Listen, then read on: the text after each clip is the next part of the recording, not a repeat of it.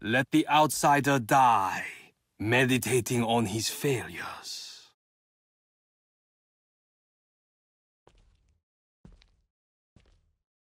Such a long journey only to be defeated by her own demons.